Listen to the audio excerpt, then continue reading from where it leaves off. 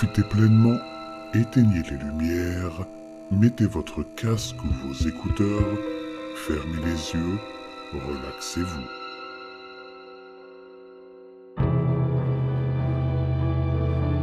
Le guide du survivant pour les nouveaux locataires.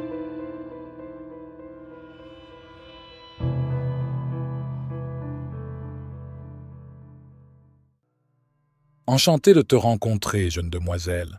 Patrick sourit à Jeanne, un sourire authentique et chaleureux. Ils ne s'étaient jamais rencontrés auparavant. Il ne connaissait les jumeaux que parce que je lui en avais parlé la dernière fois que nous nous sommes parlé. Il n'avait jamais eu l'occasion de les voir avant de disparaître. Malgré cela, son apparence démoniaque ne l'effrayait pas du tout. Je souhaitais plus que tout que les circonstances soient meilleures. Leur rencontre et nos retrouvailles auraient été merveilleuses à l'étage. Mais au lieu de cela, nous étions coincés dans la cage d'escalier éclairée artificiellement, avec cette femme encore immobile pour seule compagnie. Il m'avait manqué. Je n'avais pas réalisé à quel point une personne que je connaissais à peine pouvait me manquer avant Patrick. Il représentait pour moi tout ce qu'il y avait de bon dans le quartier. Il me faisait me sentir comme chez moi, même dans les couches souterraines lumineuses et sans fenêtres. Enchanté de vous rencontrer aussi, monsieur. Jeanne essaya de répondre avec une façon très chic, en ricanant. Elle rayonnait de lumière. Il y avait une expression invisible de confiance instantanée parmi le noir qui constituait ses vides. Elle l'aimait bien. Lorsque ce cauchemar a commencé, avec la prophétie et la mort subséquente d'Esther, je n'aurais jamais imaginé être témoin de ce moment entre Jeanne et Patrick, de voir une connexion instantanée, J'espérais qu'il aurait la chance de la voir aussi dans la lumière du soleil, avec ses beaux yeux bruns à la place des vides. Toute cette scène me remplissait de chaleur. Les sons étaient encore étouffés après mon attaque brutale par les personnes mutilées, et j'étais déçu que sa voix ne soit pas claire, mais l'arrivée de Patrick me donnait beaucoup d'espoir. Même la présence de la femme, qui se tenait toujours près de la cage d'escalier, ne pouvait pas le briser, D'ailleurs, nous étions à l'abri d'elle maintenant. Il détacha ses yeux bienveillants de Jeanne pour me regarder. Pourquoi es-tu ici? Demanda-t-il, l'incrédulité dans le ton. Il n'y avait pas de colère, juste de la déception, ce qui était sans doute pire. C'était la première fois que je voyais Patrick ne pas avoir l'air calme et posé. Je suis là pour vous. Je ne pouvais pas vous laisser pourrir ici. J'ai pris les chatons et la vigne, puis Albert est venu me rendre visite. Je me suis empressé de le dire. Patrick a souri un peu, mais s'est étendu. Je suis désolé, Benoît. Tu n'aurais pas dû venir ici. Comment as-tu fait? Pourquoi cette petite demoiselle est-elle avec toi? Il répondit, la confusion s'installant. Il essaya de cacher l'inquiétude dans sa voix pour Jeanne, mais c'était inutile. Elle avait déjà vu le danger qui nous guettait. J'ai expliqué ce qui s'était passé, depuis le début, après qu'il soit parti et que M. Dubuisson ait piétiné Prudence. Jeanne se tenait debout, effrayée, tandis que je parlais de ma monstrueuse petite amie, de la façon dont je l'avais rachetée, gardée enfermée pendant des mois et de la façon dont elle avait ensuite dévoré M. Miaou. Patrick avait l'air inquiet lorsque je décrivais la visite et les menaces d'Albert. J'ai tout raconté, d'Esther à la vigne, en passant par le laveur de vitres et son incapacité à tenir le coup dans l'enfermement, j'ai essayé d'expliquer pourquoi j'avais pensé que mon plan avec l'ascenseur fonctionnerait, mais le dire à voix haute m'a fait réaliser à quel point j'avais été stupide. Jeanne continuait d'écouter attentivement. Elle a pris un air un peu suffisant lorsque je lui ai raconté comment elle m'avait sauvé des créatures et encore une fois des personnes mutilées quelques étages au-dessus de nous. Je voyais bien que mon explication n'était pas assez complète. Patrick avait encore un million de questions à poser, mais je ne lui en ai pas laissé l'occasion. Après des mois passés à ressasser sa disparition et les événements des dernières semaines, c'était à mon tour de poser des questions. Où sommes-nous? demandai-je en commençant aussi simplement que possible. J'étais loin de me douter que je venais d'ouvrir la boîte de Pandore avec ces trois mots. Patrick a commencé à parler. Je l'appelle le bâtiment du dessous. Il fait toujours partie du bâtiment, mais la plupart des habitants ne le voient jamais. Et ce, pour une bonne raison. Les choses qui vivent ici ne sont pas toujours aussi amicales que celles qui vivent en haut. Lorsque mon père a acheté le terrain pour construire cet endroit, il a découvert un vaste réseau de tunnels souterrains en creusant les fondations. Il voulait être le premier architecte à prolonger un gratte-ciel de la même longueur vers le bas, et une bonne partie de l'excavation était déjà en place. Il voulait maximiser le potentiel de gain de son espace, mais il n'avait pas pris en compte la puissance de ce terrain. Mon père était un homme compétitif et secret. Il n'a donc naturellement parlé des projets à personne en dehors des ouvriers, pas même à sa famille. Il a employé une équipe d'entrepreneurs qui ont tous signé des accords de confidentialité. Nous nous trouvons dans le résultat. Patrick agite un peu les bras, gesticulant sur le décor actuel, avant de poursuivre. Lorsqu'ils l'ont trouvé pendu, il se trouvait au sous-sol, dans la pièce à l'aspect sinistre dans laquelle vous êtes arrivé ici. Cette pièce, et tout ce qui se trouve en dessous, n'a pas été touché depuis la construction. Ils ont renoncé à agrandir cet étage et, à la mort de mon père, le projet souterrain a été abandonné. Comme c'est la nature de cette terre, les entrepreneurs ont commencé à signaler des événements étranges dans toute la tour. Il y a eu au moins cinq décès inexpliqués. Et, bien que le public n'en ait pas été informé, il s'agissait d'hommes qui travaillaient au sous-sol. Ceux qui travaillaient sur cette partie cachée du bâtiment étaient particulièrement superstitieux et, après la mort de mon père, ils ont scellé toutes les entrées du sous-sol, enterrant une tour entière sous la ville. Lorsqu'il en a pris possession, Albert a essayé de convaincre les constructeurs de lever les scellés et de continuer à travailler. Il était comme notre père, ambitieux et motivé par l'argent. Aucun d'entre eux n'a accepté. Ils ont prétendu que la tour était maudite. La tour supérieure a été achevée juste avant que mon père ne mette fin à ses jours. Albert a donc abandonné ses négociations avec les entrepreneurs au bout de quelques semaines et s'est concentré sur l'ouverture de l'endroit. Il n'allait pas continuer à perdre de l'argent en se disputant les étages inférieurs. Il a dit que la mort de notre père ne pouvait qu'expliquer le retard de l'ouverture et qu'il devait aller de l'avant. Nous avons emménagé une semaine plus tard nous étions les premiers résidents à vivre ici. Il s'arrêta un instant et son visage s'assombrit de tristesse. Ses yeux bienveillants s'illuminèrent un peu en repensant à la vie avant la construction de l'immeuble. Tu dois être très vieux si c'est ton père qui a construit cet endroit. Même ma mère n'est pas si vieille. Interrompt Jeanne. Je me suis mise à rire. Sa façon de penser enfantine était la seule chose qui pouvait détendre l'atmosphère. Patrick gloussa et la femme à côté de lui resta immobile. Je suis assez vieux, je suppose. Je n'en ai pas l'impression. Il répondit, s'esclaffant lui-même en ajustant sa casquette plate et en faisant un clin d'œil à Jeanne. Patrick cessa de glousser et continua en me lançant un regard. Ce n'est pas quelque chose que je peux expliquer, Benoît. Albert et moi n'étions pas proches de notre père. Nous n'avons rien su de cet endroit avant sa mort. Le projet était presque terminé et nous n'avons pu parler qu'à une poignée d'entrepreneurs, qui nous ont raconté des histoires abracadabrantes que nous n'aurions jamais cru vraies à l'époque. Nous n'aurions jamais pu imaginer à quel point notre vie allait changer. Le seul indice que nous ayons de notre vie prolongée est sa note. Elle disait À mes garçons, si vous restez ici, vous ne trouverez jamais la mort. C'est tout ce qu'il nous a laissé, sur un bout de papier froissé qui a dû nous être donné par un entrepreneur nommé Ludovic, je pense qu'il a passé une sorte de marché avec l'esprit du lieu. Je ne sais pas, peut-être s'agissait-il d'un résident spécial que je n'ai pas encore rencontré, peut-être le bâtiment lui-même. Il nous a fallu des années pour nous rendre compte que nous ne vieillissions pas normalement, et lorsque nous nous en sommes aperçus, il n'y avait plus personne à qui demander. Nous avons dû faire face à toutes les manifestations surnaturelles, inhabituelles et étranges de l'endroit, seuls au début, je me souviens d'avoir exploré et d'avoir été émerveillé par tout ce que je rencontrais. Lorsque je croisais Albert, il n'avait pas l'air mystifié comme moi, il était effrayé. Mon frère et moi n'avons jamais été les meilleurs amis du monde, et je regrette profondément de ne pas avoir profité du temps où nous étions seuls ici pour construire une relation avec lui. J'aurais peut-être pu faire la différence. Une différence par rapport à quoi?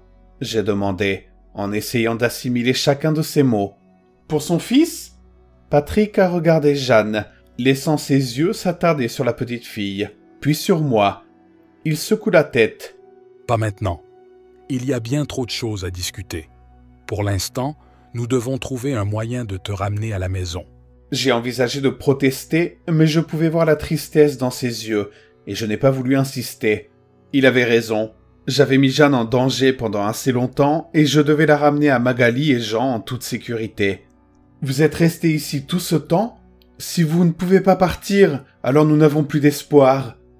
J'ai dit à Patrick alors qu'il mettait un bras autour des épaules de Jeanne et se préparait à partir. Il soupira un peu. Tu as rencontré mon frère, Benoît. Les conséquences de mon évasion seraient énormes pour le bloc. Il n'apprécie pas la façon dont je me conduis. Il préfère prendre ce que le bâtiment donne et le rendre nuisible, le transformer en quelque chose de mauvais. Je préfère vivre avec. Je ne crois pas que quoi que ce soit ici soit mauvais, sauf peut-être lui. J'ai essayé de laisser tomber. Je voulais continuer à avancer, mais les choses ne s'additionnaient pas. Mais Albert a dit les chatons et la vigne, il a dit que c'était un appel à l'aide. Il a menti. C'est dans son intérêt de me tenir à l'écart. Oui, je les ai aidés à vivre. Ils se sentent seuls ici. Quand il a découvert la plante, il me l'a enlevée immédiatement. Albert a acheté un des chats pour nourrir la chose qu'il garde à l'étage moins 10. Je l'en ai empêché. Il m'a laissé le garder parce que je suppose qu'au fond de lui, il avait pitié de moi. J'ai nourri ce petit chat jusqu'à ce que, de nulle part, les chatons naissent. C'était incroyable. L'amour créait une nouvelle vie. Les chats étaient d'excellente compagnie et je les aurais libérés si j'avais pu, mais je ne les ai jamais laissés sortir. Je n'avais aucune idée de la façon dont ils pouvaient sortir jusqu'à ton explication concernant la grille dans le mur. Il m'a regardé de haut en bas en parlant, m'observant de façon inhabituelle. Ce n'était pas un regard totalement méfiant, mais suspicieux tout de même. Alors, comment on sort? Demanda Jeanne. La dernière fois, le jardin de tes amis m'a permis de sortir d'ici. Il s'accroupit pour lui parler à hauteur des yeux. On a planté un jardin pour toi, mais t'es jamais venu. Elle souffla en guise de réplique. Je sais. Mon méchant frère m'a dit à quel point c'était beau. J'espère que je pourrai le voir un jour. Il m'a rendu la tâche un peu plus difficile cette fois-ci. Il se lève et s'adresse de nouveau à moi. Je passais par le sous-sol. Il y a une cage d'escalier. Elle est juste scellée. Il faut la casser. L'ascenseur ne peut que te faire descendre. Tu ne peux pas rentrer chez toi par là. Alors allons-y J'ai insisté en lui tendant la main. C'est alors que je l'ai vu. Je ne l'avais pas remarqué, j'étais trop concentré sur ses yeux bienveillants. Il manquait à Patrick quatre doigts de sa main gauche. Il a regardé le sol tandis que je m'efforçais de ne pas le dévisager. Ce qu'il a fait à Julia. Si j'entre ne serait-ce que dans le sous-sol, cela m'arrivera. Je l'ai testé. Tu peux voir les résultats. Il a levé sa main trapue. Je ne sais pas comment j'ai fait pour que cette chatte mette bas. Et je ne sais pas comment Albert fait ce qu'il fait aux choses qui vivent ici. Je sais juste que si je mets les pieds dans cette cave, je mourrai. Il avait l'air dévasté. Malgré le soulagement qu'il n'y soit pas entré directement et n'ait pas fait de dégâts bien plus graves, je savais que la perte de ses doigts serait un événement majeur pour lui. Après tout, il était avant tout un jardinier. Je te raccompagne, Benoît.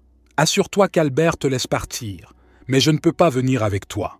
J'avais envie de crier, assez fort pour blesser les oreilles des personnes mutilées à l'étage. Je voulais crier et lui dire qu'après tout ce que j'avais vécu, je n'allais pas partir sans lui. Mais la petite fille cornue à côté de moi avait lancé beaucoup de complications. Vaincu, j'ai acquiescé. Patrick se tourne vers la femme immobile. Je reviendrai te rendre visite, Angela, je le promets. Mais s'il te plaît, laisse cette demoiselle et ce monsieur partir en toute sécurité. Il s'est penché vers elle et lui a embrassé doucement la joue avant de nous conduire vers la cage d'escalier. Une autre larme coula sur son visage. Nous sommes montés en silence. Je me demandais si toutes mes questions trouveraient un jour une réponse. Je savais déjà que Patrick était mystérieux, mais après tout ce que j'avais enduré pour arriver vers lui, il me semblait injuste d'être renvoyé sans ménagement.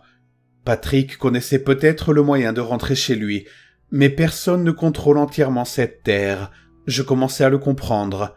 Le bâtiment gagnerait toujours. Je n'aurais donc pas dû être surpris lorsque nous sommes arrivés devant le grand moins sept noir. Les étages ont encore sauté. Benoît, il saute. Tu le sais, Il n'y a rien pour toi là-dedans. Patrick posa sa main trapue sur mon épaule, tandis que je fixais le couloir différent mais tellement familier. Il pouvait voir la curiosité qui emplissait mes yeux, alors que j'étais confronté à l'équivalent de ma maison. Serait-elle remplie de personnes encore plus mutilées, ou s'agissait-il d'un véritable renversement, d'un endroit où Julia et moi vivions heureux, où M. Dubuisson n'avait pas affaire à son affliction et où Esther était en vie, ou bien s'agissait-il d'un lieu entièrement différent, les bruits sont soudain devenus plus qu'étouffés. Mon esprit les bloquait activement. Le fait de savoir que Patrick était avec Jeanne m'enlevait une partie de la responsabilité que je ressentais, alors que je me dirigeais vers l'entrée principale, familière mais très différente. Benoît, s'il te plaît, ne fais pas ça. Patrick m'a suivi, prudent, pour ne pas perdre Jeanne de vue. Je pense que si elle n'avait pas été là, il m'aurait probablement attrapé, mais il ne voulait pas l'effrayer j'ai commencé à avancer dans un état de transe. Moins 42. La porte moins 42. Les chiffres étaient flous et le symbole du moins ressortait. J'ai caressé le bois et la poignée. Je ne me sentais pas chez moi, même pas un peu. J'étais curieux de savoir ce qu'il y avait à l'intérieur, mais je savais que ce n'était pas bon. La seule chose qui semblait positive dans cette situation était l'absence de personnes mutilées sur le sol. Je ne savais pas ce qu'il y avait derrière les portes, mais ce n'était pas eux. J'avais déjà fait assez de bruit pour les faire sortir s'ils étaient là. Non, il y avait autre chose. Au lieu d'essayer avec ma clé, après une soudaine révélation, je me suis retourné et j'ai couru, droit vers le numéro moins 51, autrement dit l'appartement d'Esther, et j'ai frappé à la porte. Esther! j'ai crié, réalisant que si je n'étais pas mort dans cet ascenseur, alors peut-être qu'elle ne l'était pas non plus. J'ai frappé fort sur la porte, et je pouvais presque sentir la fumée de cigarettes familières qui s'échappait de l'appartement. Benoît, arrête Patrick a crié. Du coin de l'œil, je pouvais le voir couvrir les vides de Jeanne dans une attente sinistre. Puis la porte s'est ouverte en grinçant. Elle était là. Esther n'était pas morte du tout. Son sort avait été bien pire. Mon ami se tenait devant la porte, le visage tordu dans une expression horrifiante, la bouche ouverte bien plus largement que ne le permettait une mâchoire en état de marche. Plus inquiétant encore, ses yeux avaient été entièrement enlevés, laissant des plaies rouges, sanguinolentes et béantes au centre de son visage. Des touches de cheveux avaient été arrachées de son cuir chevelu, laissant place à une peau à vif. La robe dont la propreté m'avait déjà émerveillé était déchirée et abîmée sur les bords, couvrant à peine ses membres enflés et déformés, les os jaillissant de blessures ouvertes dans toutes les directions. L'air était empli d'une odeur de vieille cendre et de peau nécrosée. Elle s'effondra sur le sol, incapable de tenir plus longtemps sur ses jambes brisées, la bouche encore ouverte. La culpabilité me submergea. Comment avez-vous pu la laisser dans cet état? Je me suis tourné vers Patrick et j'ai crié, mais son visage était aussi horrifié que le mien. Je ne le savais pas, Benoît. Honnêtement, je ne savais pas du tout. Je ne savais même pas qu'elle était morte jusqu'à maintenant. S'il te plaît, nous devons continuer. Ne la laisse pas voir ça. Il garda la main sur les vides noirs béants qui étaient tellement plus vivants et réconfortants que les orbites creusées d'Esther. Il y avait un vrai choc dans ses yeux. Je l'ai cru, mais j'étais en colère. Elle voulait que je l'aide, et c'est ce qu'elle a obtenu Je n'arrivais pas à surmonter ma rage. Esther avait été abandonnée à la souffrance pendant si longtemps déjà, et qui savait combien de temps Albert voulait qu'elle reste dans cet état. Elle était étendue là, se tordant, et j'étais à la fois désespéré de l'aider et furieux. Patrick n'a pas eu l'occasion de protester. Au lieu de ça, notre discussion a été interrompue par un claquement de main lent et moqueur. Je me suis retourné pour voir la porte de l'appartement moins 42 s'ouvrir en grand. Albert dans l'embrasure, un sourire suffisant sur le visage.